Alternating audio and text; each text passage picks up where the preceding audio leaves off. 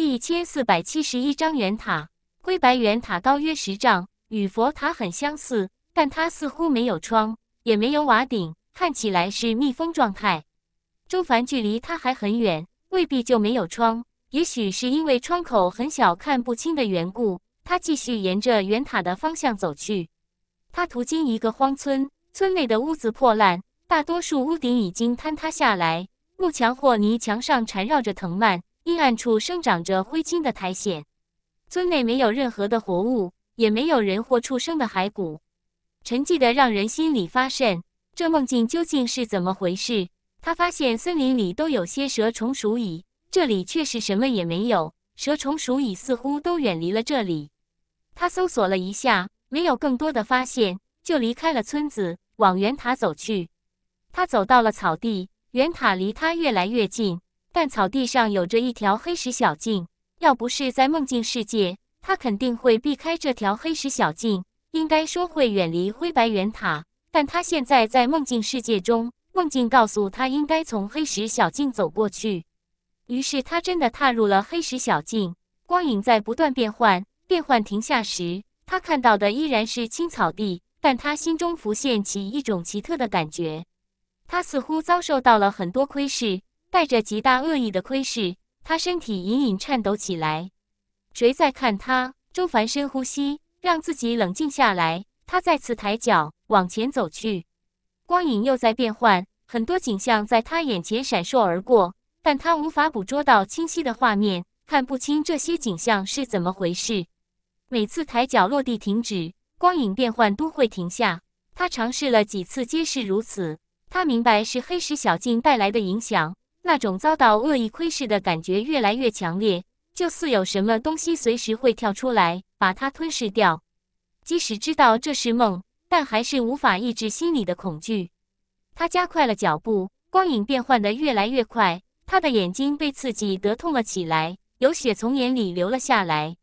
他不再试图分辨这些光影内容，而是闭上眼前行，偶尔才会停下脚来，确认自己没有走出黑石小径。然后再闭眼前行，不以窥视的感觉浓郁的有如实质。最后，他终于到了灰白圆塔前面。它果然没有窗口，除了拱形的塔门，是完全密封的建筑。灰白的墙壁光滑崭新，看不出是什么材质，就似是刚刚修建好一样。塔比他在远处看到的还要巨大。他看不清塔门内有着什么，塔内显得阴暗幽深，没有丝毫的光芒透出来。他从不算宽阔的塔门走了进去，他才发现密封的圆塔并没有他想象的那么阴暗。但是光从哪里来呢？为什么在外面什么也看不到？他也弄不明白。塔内布满了灰尘，有蛛网粘连着，似乎已经很久没有人拜访过这里了。他看向了螺旋形的灰白阶梯，沉默了一下，才踩着灰白阶梯而上。他到了第二层，第二层堆放着人的骸骨。数之不清的黄白骸骨交叠在一起，似乎在述说着他们死前的悲惨往事。他几乎无处下脚，但幸好通往第三层的灰白阶梯没有被堵住。他没有再理会这些骸骨，往第三层走去。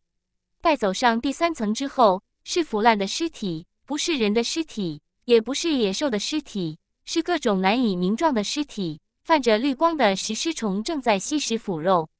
腐烂发臭的气味让他的五脏六腑都好似翻转了起来。他捂住鼻子，心里有些不解：这些看着似是怪绝的尸体，他们只不过是腐烂，难道他们没有死很久吗？第四层看似什么也没有，但墙壁上铭刻着密密麻麻的字，字有些似蝌蚪状，在游来游去，在灰暗与光明之间来回转换。他面露惊愕，看着那些好似拥有生命一样的字。这些字有些似他之前在周小猫那里看到的古文字。他走近仔细观察，但无法理解其含义。不过这些文字却能向他传递一种十分清晰的情绪：恐惧。他们在感到恐惧。他的心底深处有着寒意渗出。他们在恐惧什么呢？这些字不断变换，无法记忆。若是强行记忆，就似吸收了庞大不明知识，冲击得人魂要崩溃了一样。与周小猫那些有着很多不同的地方，他也不知道是不是同一种文字了。他伸手触碰了一下，灰白的墙粉簌簌落下，有一处的文字消失了。他的触碰杀死了这些字。他静静站立观察了一会，还是离开，来到了第五层。第五层依然是那些古怪会在墙壁游动的字，除此之外，看似什么也没有。恶意窥视的感觉再度传来，他忍不住转身，看到一个暗处角落，似乎有着一张脸在看他。他快步走去，但又什么也没有看到了。那张脸似乎走了，但是那恶意窥视的感觉却没有消散。是什么东西在看我？他心里烦躁地想，往楼梯走去，走上了第六层。第六层悬浮着八团灰白的光芒，光芒在闪烁，犹如会呼吸一般。他尝试着伸手碰了一下其中一团灰白光芒，但是却什么事也没有发生。第六层墙壁还是存在着游动的文字，文字似乎在惧怕什么。他想不明白，继续往上，他的鼻子还是能嗅到腐烂发臭的气味。走上第七层后，他看到了很多薄如蝉翼的皮，堆满了七层。他捡起了其中一张形状奇特的皮，似乎是什么奇特存在褪下的皮，但除此之外，再也没有任何的异常变化。他拔开这些皮，看向了墙壁，墙壁上再也没有文字。他默默算着自己所走的高度。若是他没有猜错，这塔应该是九层。如果是九层，那就应该还剩下两层。这塔容纳的东西稀奇古怪，除了那些文字，没有任何关联之处。那最后两层会有什么呢？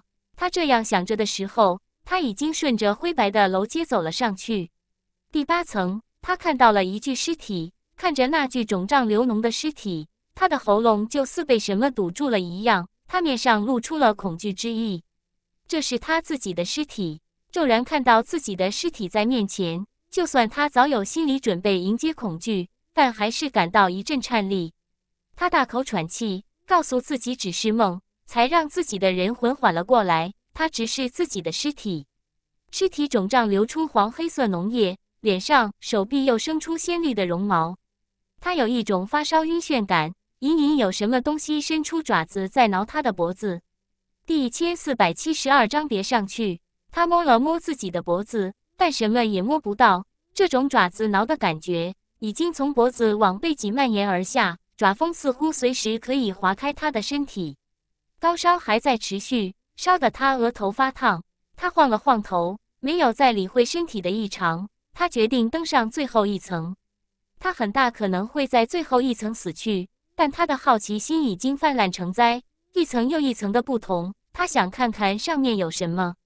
他转身往灰白楼阶走去，欲要登上最后一层，但是他很快停住脚。他看清了黑暗处那张脸，那是一张和他一模一样的脸，苍白的脸，阴冷的眼神，人脸很快又敛入了黑暗中。他的诗，他的脸，他压下心中的惧意，真的是很诡异的事情。因为高烧，他的额头昏昏沉沉，会不会烧成白痴？然后永远迷失在这座灰白圆塔内，他不想再在第八层耽搁下去，抬脚继续走去。别上去哦！一个女子的声音在他耳边响起，有些熟悉的女子声音，但脑袋昏沉的他想不起在哪里听过了。他下意识扭头往后看去，看到的是一个身穿粉蓝工装长裙的少女，她正面带淡淡笑意看着周凡。传，周凡眨了眨眼。确认自己没有眼花，没想到我在这里吧？少女笑着，屈指弹在了周凡的脑门上，清凉的感觉从脑门上蔓延散开，他昏沉的一时变得清醒起来。他沉默看着少女，心里面在想着会不会是假的？我可不是梦境虚构出来的。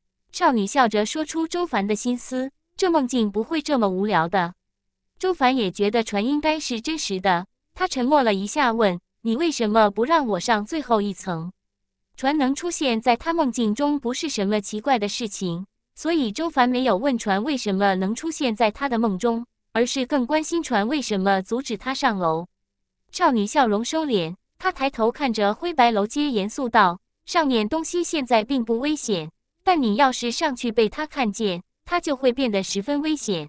你会死的，不是梦中死去，而是在外面的世界中死去。”在外面的世界死去，周凡面露愕然之色。他没有想到第九层的东西会如此危险，我只要不畏惧他，人魂就不会散。他怎么杀死我？因为这不是普通的梦中世界，不是说你不害怕就可以了。少女脸上严肃的表情散去，她甜甜笑道：“等以后我会告诉你的。我也没想到，冥冥之中自有天意，会撑不到最后一次，害得你进入了如此危险的噩梦中。这噩梦究竟是怎么回事？”周凡心里面的疑惑越来越多。上次黑光世界最后与我说话的，该不会是你吧？就是我。少女点头道：“时间不多了，这噩梦的事情很复杂，我不能告诉你。我还有一件很重要的事与你商量。什么事？”周凡心里升起微妙的感觉，船居然说有事要与他商量。你不是遇到了云烟主吗？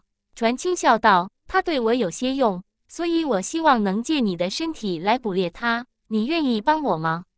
船要捕猎云烟主，周凡怔了怔。可以告诉我他对你有什么用吗？之前他遇到那么多不可知奇怪绝，船都没有吭声，为什么就偏偏对云烟主产生兴趣了？这个保密哦。船俏皮眨了眨左眼，帮我捕猎它，对你也有好处，不是吗？可是你借我身体，会不会对我身体造成？当然不会。船笑着打断道：“难道你还信不过我吗？”周凡微微沉默道：“我要是不答应。”你也能直接附身我，对吗？那怎么可能？船有些遗憾道：“你要是不愿意，我只能放弃捕猎云烟主了。要是你愿意，那你出去只要在心里呼唤我，我就能附身了。哦，对了，你不用特意花时间赶到附近，我能快速到达的。云烟主出现有一段时间了，为什么现在才动手？”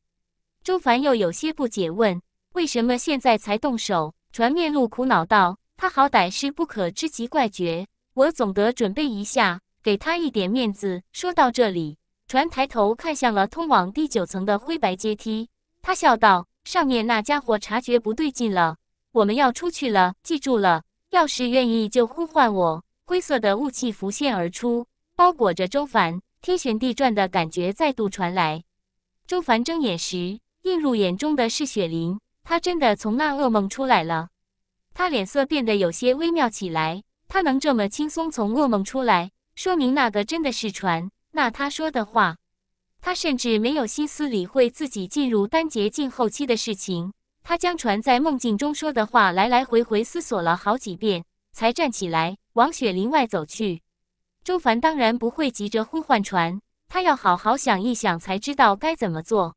冰极洲那边的云烟主恰好在今天进入了消食状态。好几天不会再吃人了。到了晚上，他把自己在梦中遇到船的事情详细告诉了英九。英九对此果然很感兴趣，他双眼死死盯着周凡：“你确认他是船？他应该是，这不是我第一次见到船了。”周凡微微挑眉，又把上次见船的事情同样说了一遍。他告诉过英九深层记忆的事情，但见过船的事情却是没有提及过。他知道船向来不在意这种事，所以他完全可以大方的告诉英九，他想听听英九的看法。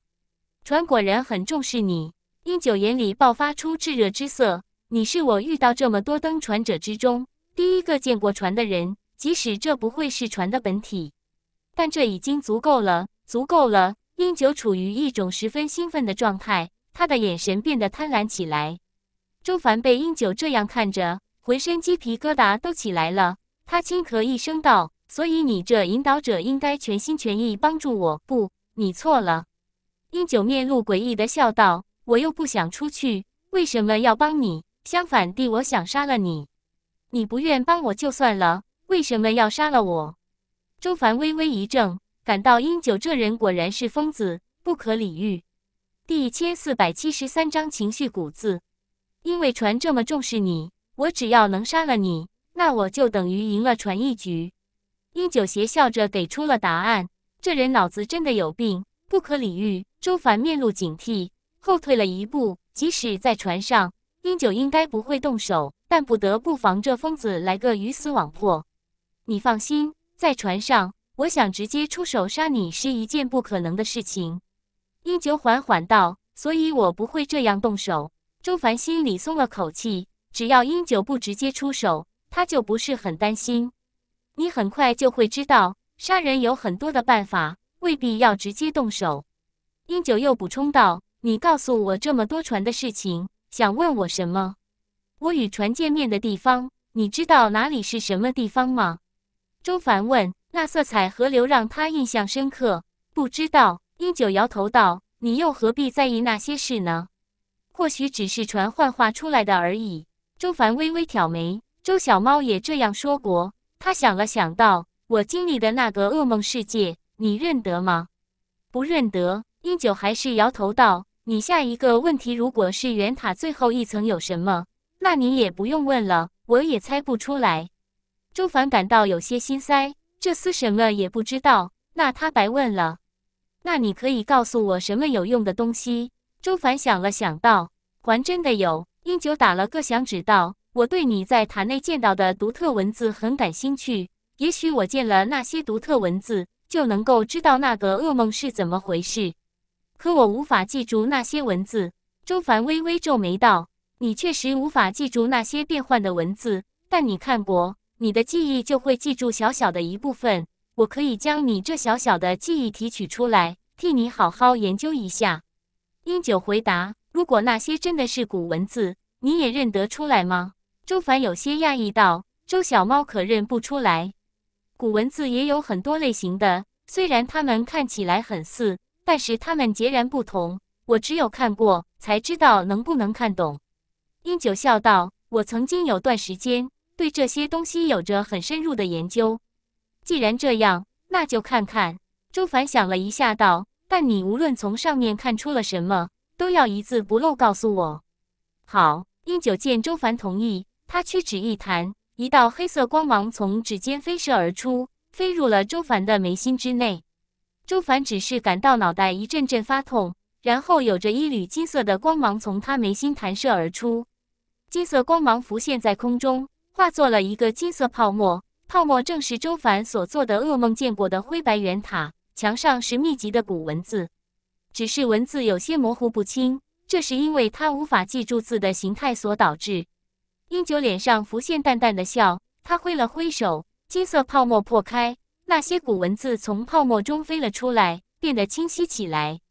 周凡脸色微变，难道英九还有着重现他梦境古文字的本事？不过他很快就看出，那些古文字并没有任何的灵动之感，也不会动。古文字曾经出现在第三、第四、第五层。第五层他只是匆匆看了数眼，并没有仔细看，但只要看上一眼，就算是刻在了他的记忆中。英九只是看着空中密密麻麻的漆黑文字，他时不时挥手，让那些块状文字变换位置。周凡在一旁安静等着，他对这个灰白圆塔噩梦世界很关心，但船没有说，他来不及问，现在只能希望从英九这里知道一些事情。过了好一会，英九才挥了挥手，那些漆黑文字全部消散不见。如何？周凡看着英九问。英九难得露出了一丝疲惫之色，似乎解读这些古文字很消耗心力。古文字来历神秘，有些甚至不是能用我们的话说出来的。就似你感觉到这些文字传达出来的恐惧情绪，其实就是这古文字的意思，至少是它最表层的意思。周凡微微一怔：“你的意思是说，这是一种可以表达情绪的文字，我们只能感受其中的情绪？可以这么理解？”英九点头道：“但这种表达情绪的文字，它蕴含的情绪可能有数百层之多。如果能全部解读出来，你也可以将之转换为我们的文字。这种情绪态的文字，我以前接触过不少，也能读出部分。但可惜你的记忆中不是完整的文字。我就算完全精通这种古文字，没有亲眼所见，也无法解读出太多的内容。好古怪的文字。”周凡问。那你解读出来了多少？很少很少。英九挠了挠头道：“我只是解读出了三种情绪。第一种是你感受到的恐惧，但我看的更多一些，这是一种绝望的恐惧。绝望的恐惧，刘自哲恐惧什么？”周凡不解问：“这个就不清楚了。反正他们就是极度恐惧，感到绝望。”英九道：“他们？”周凡敏锐道：“你的意思是这些文字不是一个人留下的？”是三个，英九笑道。但未必是人，有可能是我们未知的生灵。你如何确认是三个的？周凡讶异问。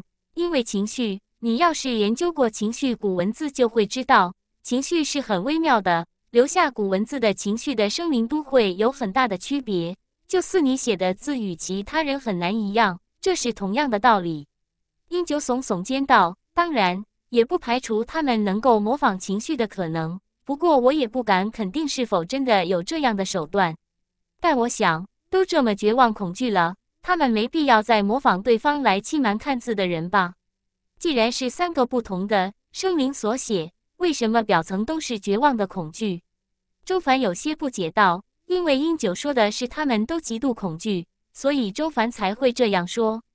这说明他们在为同一件事感到绝望恐惧。”英九解释道：“我解读出的第二、第三种情绪就来自不同的楼层，其中第二种情绪来自第三楼层文字。”第三种情绪来自第四楼层的文字，第五楼层就只看到最表层的情绪。你走得太快了，第五层文字最模糊不清。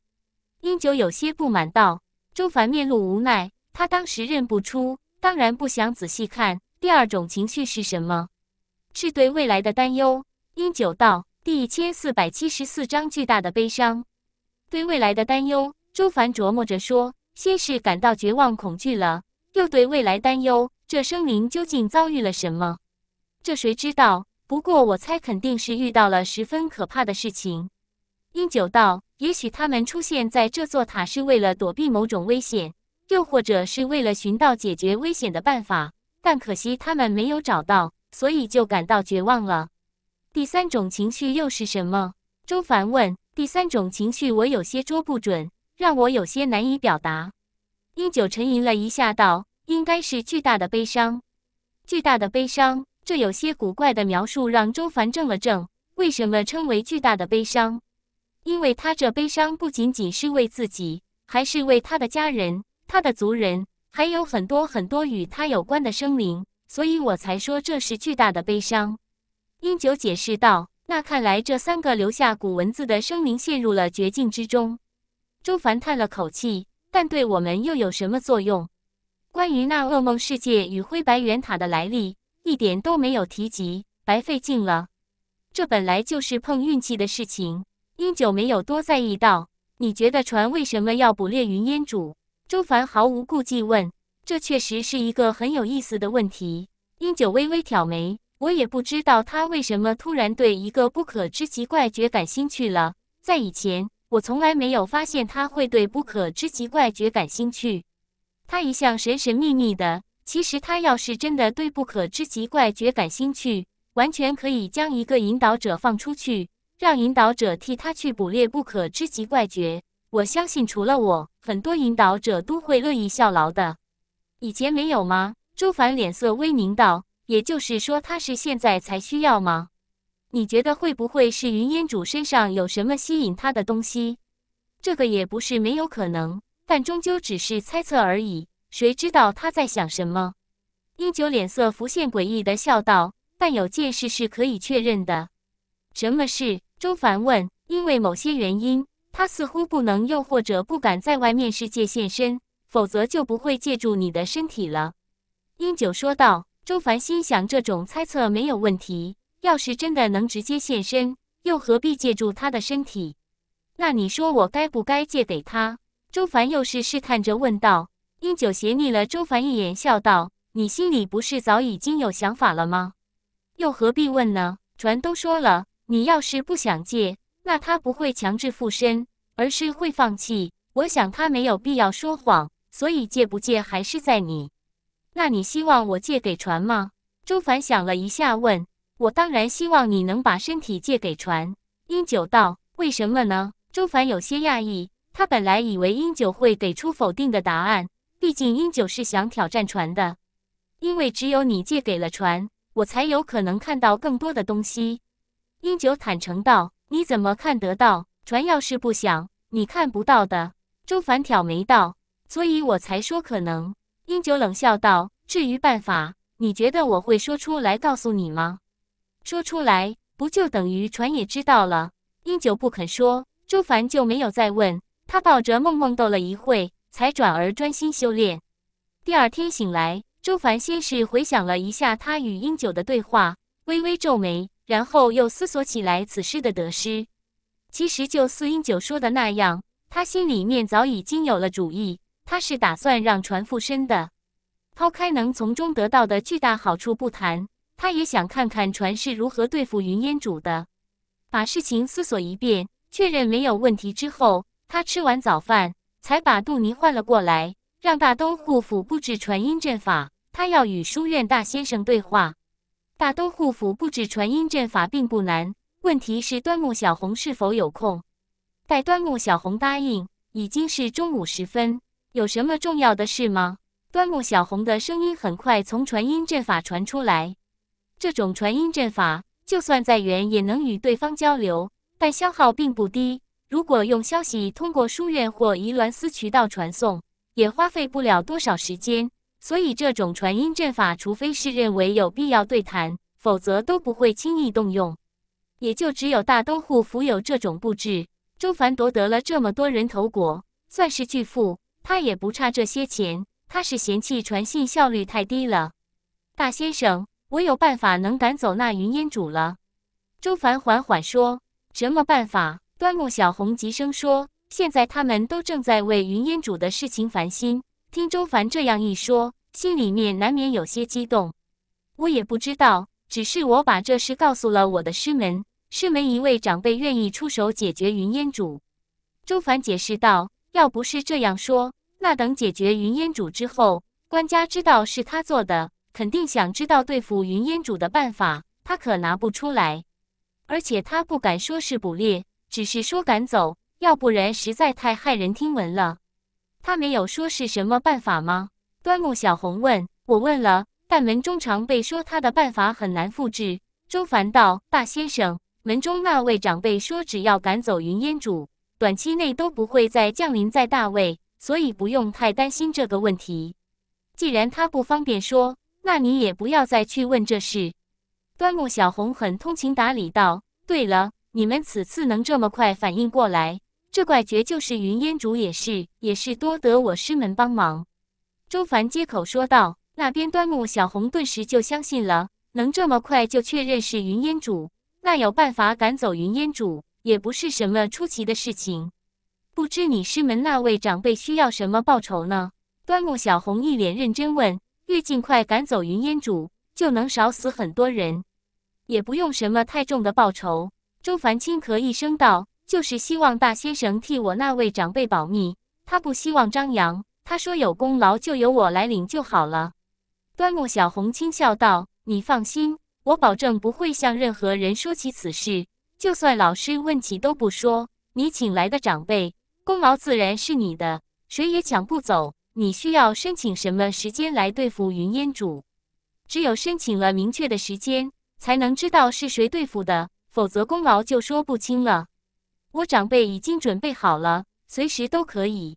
周凡立刻又道：“第一千四百七十五章翠花，随时都可以吗？”端木小红道：“那你等等，我去替你问问，看有没有人占用了最近的时间。”周凡耐心等了起来。要是有人占用了，那他只能再往后排队了。只是这样死的人就多了。不过在没有办法的情况下，没有人敢胡乱占用，因为一旦失败，短期内就不允许那人再次尝试。过了一会，端木小红的声音才从另一边传了出来：“没有被占用，你那位长辈需要多少天时间？一天就足够了。”周凡道：“那我替你申请这三天的时间。”三天之后，那云烟主估计就会结束消失状态，麻烦你们了。端木小红声音严肃道。周凡又与端木小红说了几句，就断开了这次对话。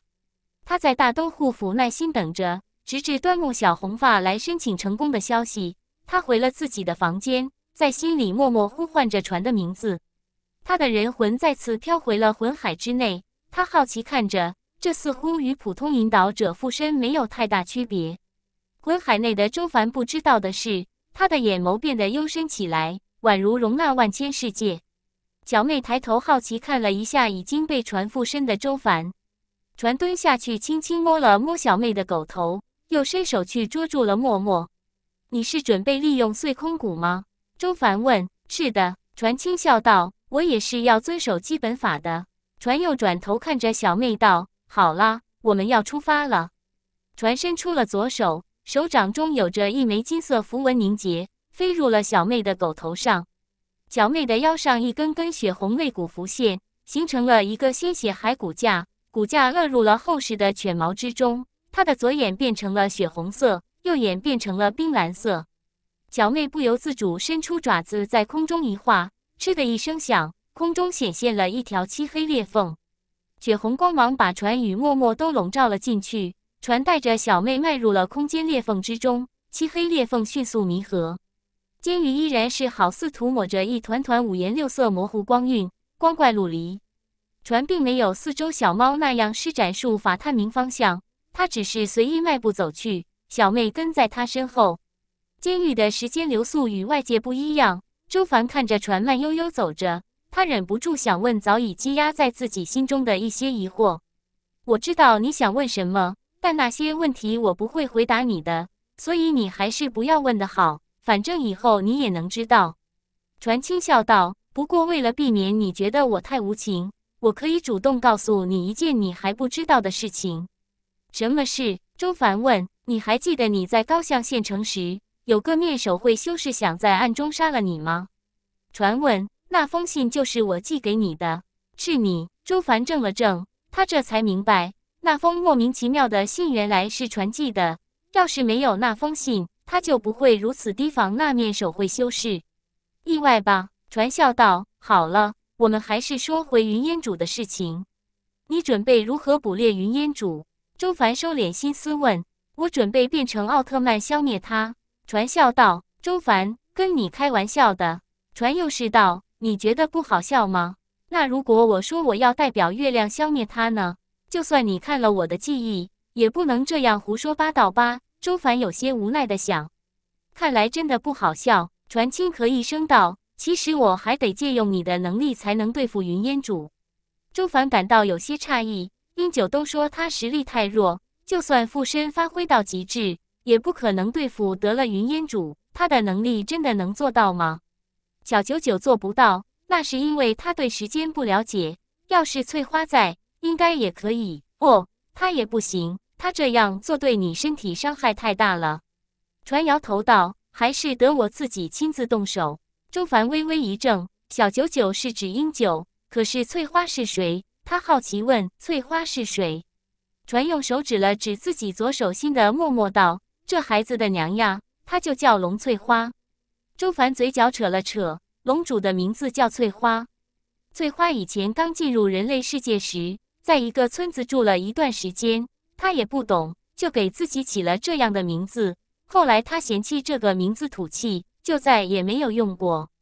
传笑着解释道：“他在龙族有着自己的龙神名，但龙神名翻译成人名太长太繁琐。”其实龙族都会换一个比较简单点的人名。龙起名字与你们可不同，就算是人名，他们不会随意更改。周凡忍不住笑了出来，他这才知道为什么龙主一直没有说过他的名字，原来是他说不出口。不过要是敢当他面唤他翠花，以他那暴躁的性格，估计会宰了他的。你刚才说利用时间，如何利用？周凡转回正题道。他隐隐猜到，应该是指龙神羽或混沌旧魔体。每个修士对法则的了解都不一样，所以小九九做不到，翠华勉强能做到。但并不是说翠花就比小九九强。他们两个要是真的打起来，谁输谁赢很难说。传笑了笑说：“我能做到，那是因为我与他们不一样。当然，你目前的状态来说，我就算对时间再了解，也要借用一下其他东西。”要不然会对你的身体造成难以逆转的损伤。船伸出手，他的手伸进了五颜六色光晕之中，从中捉出了一颗灰色的珠子。这是我炼制的小玩意，也没有名字。它的作用是让你提前避免时间的侵蚀。周凡听得有些糊涂了，他完全不明白传所说的与他问的有什么联系。虽然本质很复杂，但说起来却很简单。人的未来充满了无限的变数。传笑了笑说：“如果一个修士修炼之路很顺利，那他毫无疑问能登上修炼的巅峰。我需要做的就是从时间长河中把很顺利已经进入巅峰的你带来这个时间节点之中。这样的你对付云烟主这样的怪绝，又有何难？嗯，这也算是你掌握的时间加速一种特殊用法，把未来已经登上修炼巅峰的自己带过来。周凡被这种天马行空的想法镇住了，船没有再说，他把灰色珠子吞入口中，迈步走入一团橙色光晕。魂海内的周凡看到浮光掠影般的画面，画面清晰又模糊，只是持续了一会。光线变得明亮起来，他们已经出现在了冰蓝的地面之中。最外面可以看到狂风暴雪在咆哮。船只是轻轻弹指，一团白色光芒飞出。小妹与默默刚一落地就被白色光芒包裹住，消失不见了。我把他们送走了，免得待会还要分心照顾他们，麻烦。船嘀咕说。周凡脸色微变，因为他看到了十丈之外的云烟主。橘红云烟凝成的独角云鹿还是似之前那样，没有多大变化。他感应到周凡的存在，立刻从消失状态中脱离出来。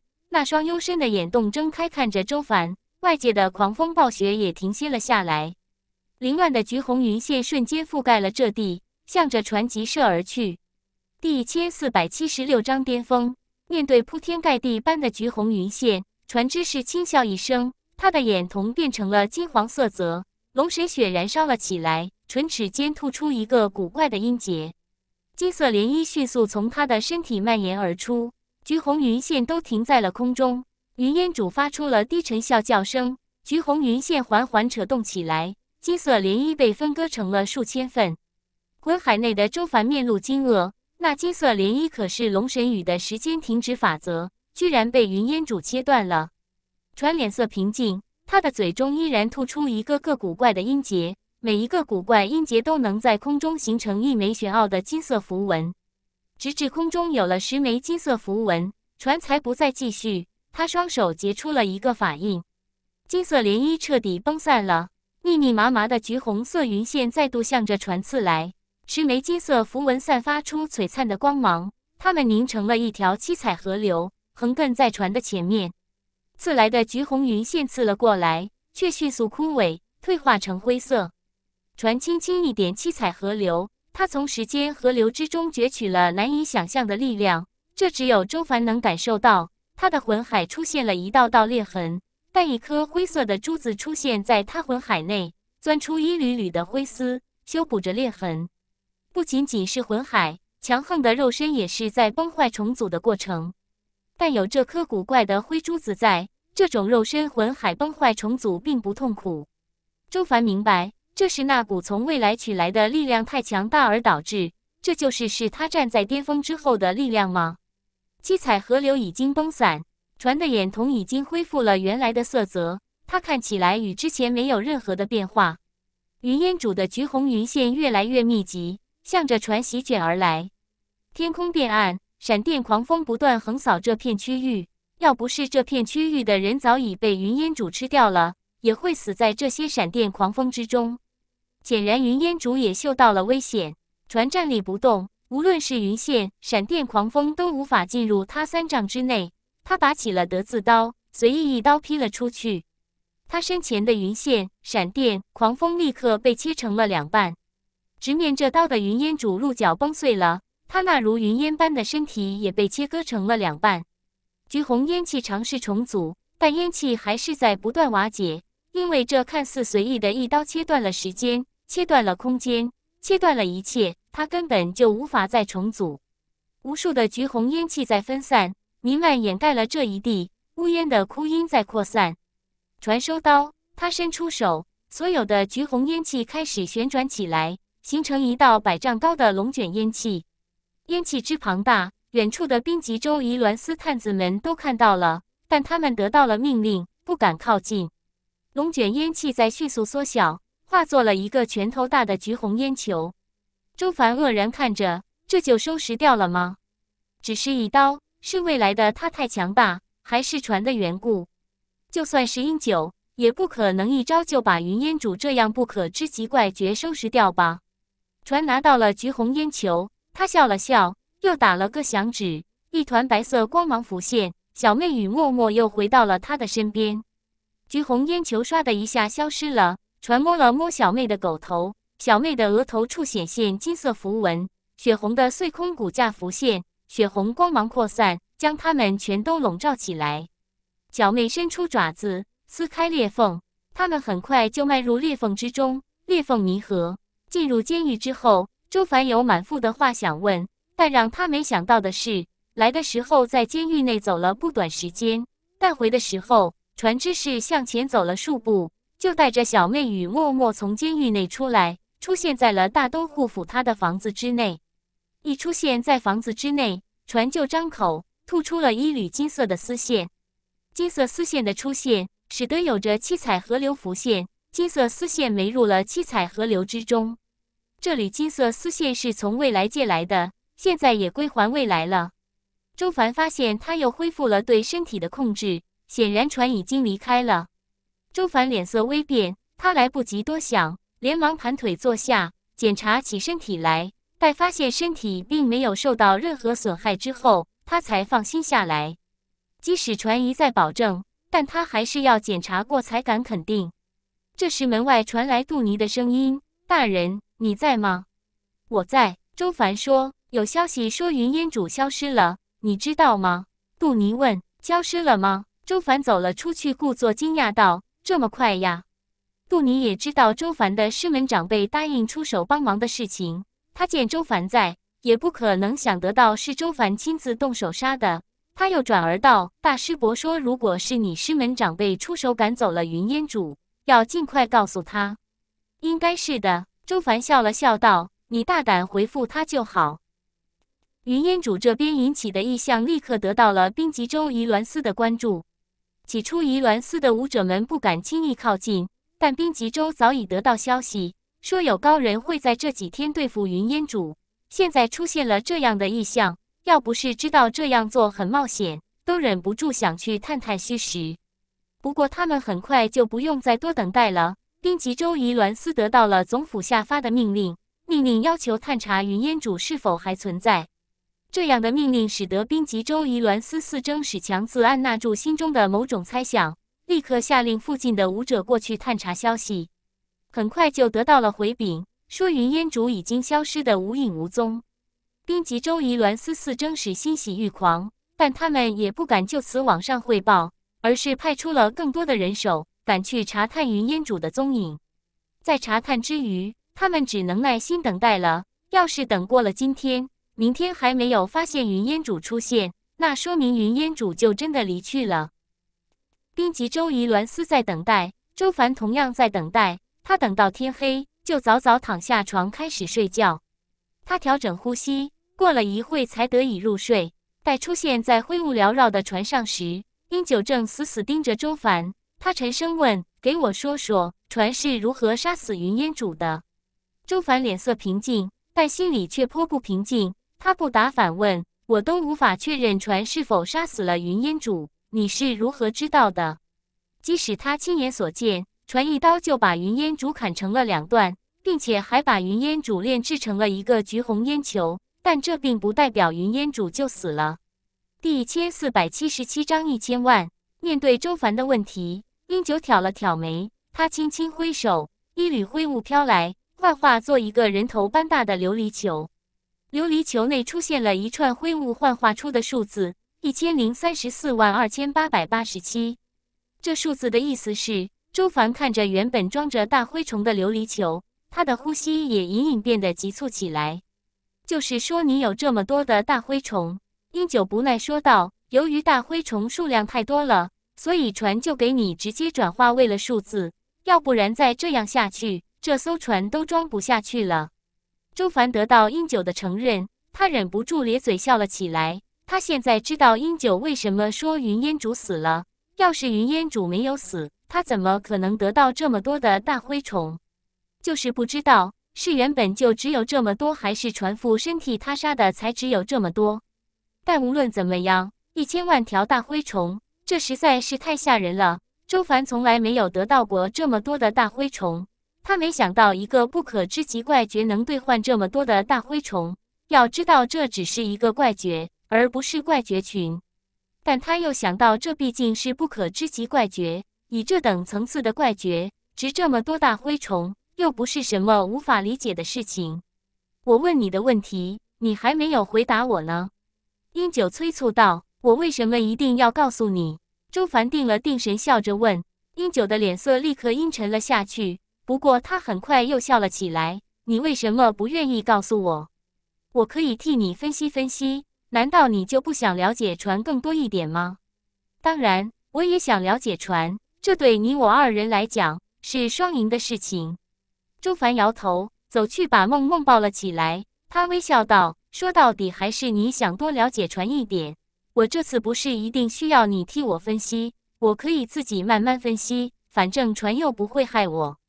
你错了，船现在的确是帮你，但他连自己的目的都不告诉你。”你怎么知道以后自己要付出怎样的代价帮回他？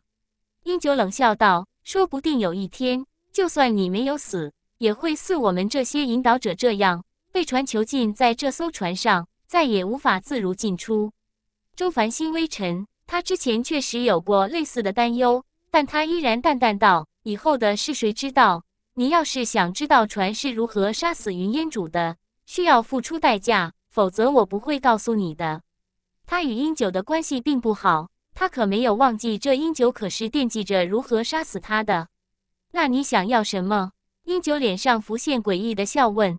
我想要什么？周凡毫不犹豫道：“我希望以后如果你哪里有我需要的东西，都必须以相对合理的价格卖给我。”他现在在酝养竭力，但也可以为结丹做准备了。不过又不仅仅是金丹期这一境界，引导者对他最大的帮助。就是那丰富的修道知识以及他们的藏品，只要英九答应了这个条件，那无论英九有多么的恨他都无所谓，反正他已经得到了想得到的东西。之前他也想要引导者答应这样的条件，但都被拒绝了。现在这是一个好机会，你倒是异想天开。英九笑道：“你觉得我会答应这样的条件吗？就仅仅是为了知道船是如何杀死云烟主的？”我确实很想知道，但不代表我愿意付出任何的代价。我与船交手这么多次，你以为我对其没有任何的了解吗？能知道自然最好，要是代价太大，我就会放弃知道。所以你的价格最好合理一点。周凡在心里叹了口气，他就知道英九未必会答应。他想了想道：“那我希望在我晋升金丹期时或踏入金丹期后，你哪里有我需要的东西？”都能以相对合理的价格卖给我。他心里想的是，反正换引导者速度这么快，这英九未必就能再在船上待多久。说不定等他进入金丹期之后，没有多长时间，英九就要沉眠了。所以这条件与之前的差距也未必有那么大。这个还差不多。英九满意点点头道：“那就成交了。这样就等于在船的注视下订立了协议。”周凡这才把船夫身在他身上的事情仔细说了一遍，原来是利用了时间法则，好巧妙的法子。英九听完后，用赞叹的语气道：“不过很快他就皱起了眉头，思索了起来，有什么不对的地方吗？”周凡看着英九问他，现在才发现，其实英九长得很美，之所以现在才发现，是因为英九的癫狂神经质，使得他下意识忽视了这点。不对的地方在于你，英九面露怪异之色道：“为什么呢？”周凡见提及到自己，连忙问道。英九瞥了一眼周凡道：“按你所说，传是利用时间法则，从未来无限可能中将可能最强的你力量借了过来。但就算是如此，最强的你未免强的太离谱了。仅仅是一刀就杀了云烟主，他可是不可知极怪绝。我当初可是倾尽全力才杀了他的。”尤其是这还是借来的力量，并不是本体。就算是船的帮忙，能有本体的七成力量就不错了。周凡沉默了，这确实很奇怪。不是我妄自尊大，比我强的肯定有，但绝不会有强的这么多的修士。英九又道：“当然，船要排除在外，但我与你们不同。我要是一直有船的帮忙，未来肯定有可能进入你也未曾进入过的至高境界。”比你厉害这么多，这有什么不可能的？周凡忍不住解释道：“这样的境界真的存在吗？英九面露讽刺道：“你现在能进境这么快，是因为有引导者帮忙，以及可以通过钓鱼。但当你到了我这等层次，我不信你还能破境。我可是卡在这一境界很多年了。但事实如此，未来的我就是这么强。难道你在说传说谎？”周凡皱眉道：“传说谎不是不可能的，但他确实未必在说谎。”英九又是诡异笑道。但我还有一个自认为比较合理的推测，你要不要听听？第一千四百七十八章傀儡猜测，关于他这么强的合理推测，你要是愿意说，我当然愿意听。周凡道，反正听听也没有坏处。无论是过去、现在还是未来，能够这么强的，在我眼中只有船能做到。英九用笃定的语气道，所以我这个猜测也是以此为根基。你的意思是说，船借用的不是我的力量，而是未来他的力量？周凡由英九的话推测道：“这当然不可能。”英九否定道：“船用的是你的身体，你的时间法则。就算我对时间法则不擅长，但是也明白，从时间长河中借用未来的力量，肯定是借用自己的力量更容易成功。至少对你的修为境界来说，更是如此。”英九说到这里，笑容阴森道。我的怀疑是在未来，有一种可能是你被船吞噬了，你成为了船的傀儡，所以这借来的力量看似是你的，但实际上是船的。这说得通，为什么借来的力量会如此强大？周凡浑身寒意升腾，他的心脏急剧跳了起来。他不得不承认，英九的这个猜测不是没有道理的，但他却说道：“你在吓唬我，想离间我与船的关系。”我确实是想离间你与船的关系，英九道，但是不是吓唬你？你心里面应该比我更清楚。你大可以反驳我的话。我修为境界不如你，无法从正面反驳你，但我依然认为你说的不对。周凡沈声道：“要是你说的是真的，那船不会让你说出来之后还让你活下来。船为什么不让我活下来？”英九笑道。你以为船会在乎我将这件事说出来吗？这毕竟是我猜测的而已。船要是真的对我动手，那才是欲盖弥彰。再说，就算你知道了又如何？你以为你未来能摆脱被船吞噬掉，成为船傀儡吗？这根本不可能，除非你现在死掉。周凡被说的真的有些心慌，他还是镇定道：“你这样的猜测很荒谬。船要是想把我当做他的傀儡，早就可以动手了。”为什么要等到未来才动手？因为你现在太弱了。英九不屑道：“我的猜测是，船无法随意出现在世间，所以他造了一艘船，搜集了我们这些引导者，然后让登船者进来，通过不断培养，直至培养出一个真正能容纳他的傀儡修士出来。这样的修士要求肯定很严苛，否则根本无法容纳他的力量。”周凡轻咳一声道。我觉得你越说越荒谬了。其实我天赋不好，人还不帅，他为什么不从你们这些引导者之中选一个出来呢？你们实力强大，天赋又好，培养你们不比培养我更简单？你说你天赋不好？英九讥笑道。但之前你不是吹嘘说自己是亿万人之中无疑的修道天才吗？现在是害怕了吗？我只是随口说说，平时也没见你这么认真。周凡有些恼火道：“不选我们这些引导者，这确实是一个问题。”英九点头承认道：“但也许是我们不符合他的要求。你别忘了，你拥有明晰逆轮体这种绝人天赋，本来就是最适合夺舍傀儡的天赋。再强大的力量都不怕弄坏了身体。”周凡眼角跳了跳道：“明晰逆轮体对修士来说或许很罕见，但对船来说，他要是想弄到手。”并不是什么难事，他不会等到现在才选我动手。你怎么知道他是现在才动手？英九笑道：“说不定他已经把你的那些先祖们都做成了他的傀儡，只是你不知道而已。都做成了他的傀儡。”周凡有种不寒而栗感，他辩驳道：“要是有这么多的周家人成为登船者，就算你不知道，也会有一个引导者知道。你这话漏洞百出。”周凡口里说的自然是周小猫，这个可说不准。你也知道，船能把我们的记忆删掉，说不定他把我们这些引导者这部分记忆删掉了呢。英九又是说道：“要是删掉，你不会发现。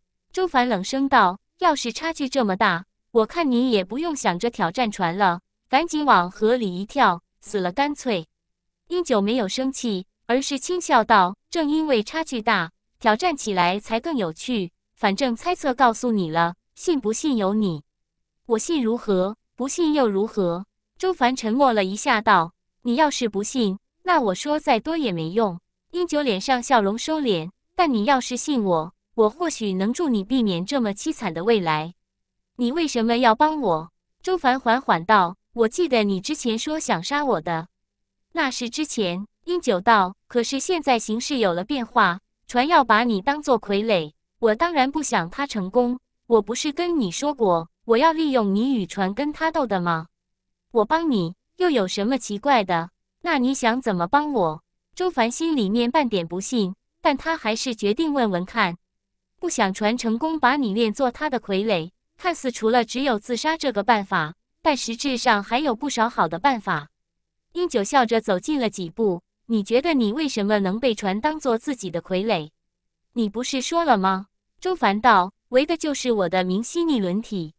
是的，明晰逆轮体。英九伸手去碰了碰梦梦的脸颊，梦梦咯咯的笑。所以我可以替你把这一绝人天赋抽离出来，你那几个女儿的也可以抽出来，这样船就再也无没有理由对你动手了。你是贪图我的明晰逆轮体才这样说的吧？周凡嗤笑道：“你怎么能这样想我？”英九叹了口气，做出了有些委屈的表情。为了证实我没有贪图你的绝人天赋，我可以保证，就算抽离出来的绝人天赋，我也会将其交给你处置。而且我保证抽离绝人天赋的办法安全，绝不会对你有任何的伤害。这些我都可以以道心起誓，这样你总信我了吧？听起来似乎真的是为我好的样子。周凡沉默了一下，冷笑道：“不信，这都不信。”英九脸色冷了下来：“我这样做，除了能胜船一筹外，还可以得到什么好处？要是这样都不信，那就算了。”第一千四百七十九章韩北道主，我不信是因为就似你说的，船真的在觊觎我的明晰逆轮体。那你替我剥离明晰逆轮体。船可能会把我这个无用之人扔进河里去。周凡脸带冷意道：“如果你说的并不对，对你并没有任何损失，反而是替你证实了你的想法是对的，但我就会失去明晰逆轮体。无论对不对，剥离明晰逆轮体对他来说都没有任何好处。”英九阴阴笑道：“你说的有些道理，这就是你不信我的理由吗？但你有没有想过，我的猜测要是没有错？”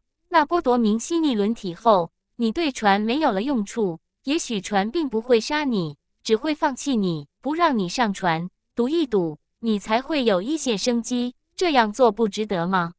但这只不过是你的猜测而已。你的猜测有多少可能是正确的？周凡缓缓道：“恐怕一成都不到。说船的目的是贪图明晰逆轮体，那未免太小看船了。总有一天。”你会为此而感到后悔。英九见说服不了周凡，他笑笑，没有再多说。次日一早，周凡醒来后，他面露忧色。昨夜英九太多数是在胡言乱语，但是有件事是正确的：未来的他未免太强了，远远超出了英九这等存在的想象。英九都说，除了船从来没有见过如此强大的修士，这说明了一些问题。英九也不似说谎。毕竟引导者的实力能战胜不可知级怪绝，但也没有强到一招收拾掉。尤其是在这事没发生前，英九就曾经说过，他当年是花了很多心思才杀了云烟主的。后来还证实了他并没有杀死云烟主，但这次云烟主应该是死了，否则就不会转化出这么多的大灰虫。英九杀不死的不可知级怪绝，被船借用他未来的力量一刀斩杀了。即使按照传所说的，这未来的他是顺利修行可能最强的他，但这实在是周凡为此忧心忡忡。但兵及周夷鸾司却是处于狂喜状态，因为一夜过后依然没有发现云烟主的踪影。要知道，云烟主要不是在猎食，就是处于消食状态。但就算是消食状态，也会掀起冰风暴，不可能消失的如此无影无踪。兵及周夷鸾司害怕误报。又谨慎地等到了正午，还是没有发现云烟主之后，他们才真正确认云烟主真的被总府所说的高人赶走了。他们欣喜之余，连忙往上汇报，消息飞速传入晋都，很快就激起一层层涟漪，暗潮汹涌。所有人都知道，赶走云烟主是黑水都护府大都护周凡想到的办法。这是书院替周凡向总府申请的三天之期，这做不得假。按照事先圣上下的命令，也就是说，黑水大都护周凡要升任为韩北道主了吗？这样的消息使得人心浮动。下午，朝议被三乡紧急召集众臣召开了。参加朝议的一众大臣心里面都明白，是为了周凡赶走云烟主的事情。朝议一开始就保持了一种诡异的沉默。此次紧急召开朝议，是因为黑水大都护想出了办法赶走云烟主，此乃韩北道之福，大魏之福，所以此次紧急朝议也是为了商议如何赏赐黑水大都护。中乡王道子缓缓说道。朝堂上的一些人脸色变得微妙起来，他们都是精明之辈，就算事先没有收到消息，但听中乡这样的口气，也隐隐明白了。三乡是不想把韩北道主的位置给那周反。中乡大人，一个书院派系的官员出列拱手道：“赏赐不是早已由圣上定下了吗？谁能赶走或杀死云烟主，就是新的韩北道主。圣上确实下过这样的命令。”世家派系的一个官员道：“但黑水大都护周凡不过十七岁，修为听闻也只是元业境，这样的年龄，这样的修为，在同辈之中很了不起。”但想成为一道之主，恐怕难以服从。世家派系的官员一开口，不仅是家派系的官员应和，野狐派、大佛寺的也是纷纷出声附和。一道之主的位置实在太重要了，即使成为一道之主之后，往往会疏远自身派系，但终究是出自自身派系，他们可不想这个位置落入书院那边，所以其他派系的人也乐得帮忙。正是因为朝里有很多人提出了异议，我们三个商议了一番，才会召开此次的紧急朝议。左香叶高山面无表情道：“他这是以示公道。我们三个都认为让黑水大都护成为韩北道主，确实有些不妥。不是说他不好，只是这样做对他的成长也不好，所以最好换一换赏赐。”右香消会接着说道：“当然，官家不会亏待有功之臣。圣上下的命令。”就等同于圣上金口玉言，难道还想违背圣意不成？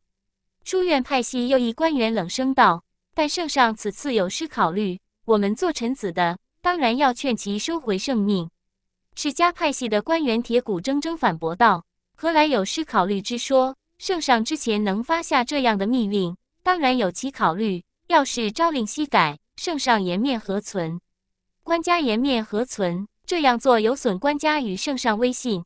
书院官员道：“非也，朝议上的诸多派系与书院派系为此争议了起来，但心里都明白，说的再冠冕堂皇，其实都是为了各自的利益着想，谁也说服不了谁。”三相没有开口，只是静静听着你来我往的争议。这样的事情早在他们的预料之中。三湘偶尔会瞥一眼一声不吭的中书侍郎陈整，陈整不吭声。三湘同样没有意外，因为此次朝议是他们紧急召开，他们注定会赢。陈整应该也明白这点，才没有出声自取其辱。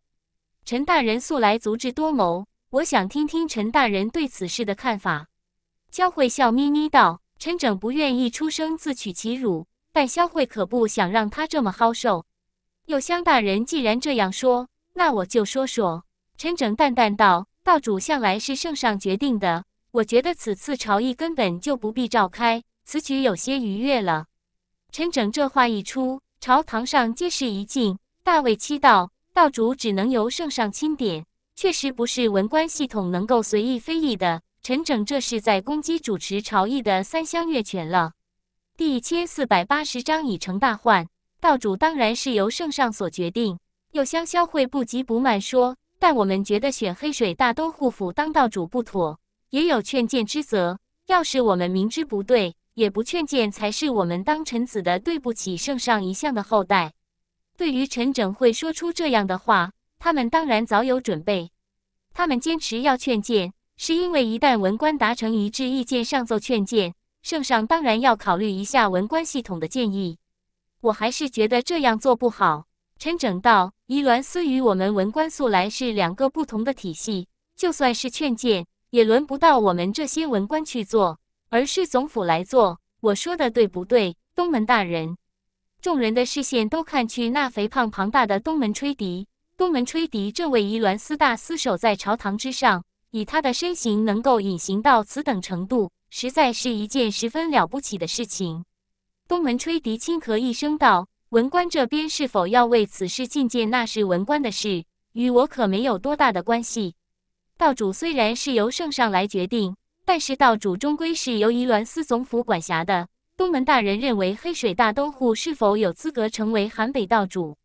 伊鸾司总府要是不赞成，是否会对此进行劝谏呢？”陈整又是笑着问道：“文官们都是竖起了耳朵，相比文官。”要是说觐见总府来做，当然更为合适。东门吹笛脸上的肥肉抖了抖，他干笑道：“黑水大都护是否有资格成为韩北道主，哪能是我这个臣子能多嘴的？我觉得圣上圣明，自会决断。总府这边不敢对此有任何的意见，当然也不会觐见。”东门吹笛觉得自己心里苦，不是他与陈整的关系好，想配合陈整。而是他根本就不想或说不敢掺和进这事之中，所以只能就此表态。东门吹笛的表态让三香脸色有些难看。道主名义上隶属于宜鸾司总府，现在宜鸾司总府说不觐见，那文官系统这边坚持觐见，那就有些逾越意味在。这陈整很厉害，三言两语就让风势逐渐转向了书院这边。伊鸾司总府归总府。我们文官要尽自己应有的职责。既然有人反对，有人赞成，那我们就用以往的方式表决决定。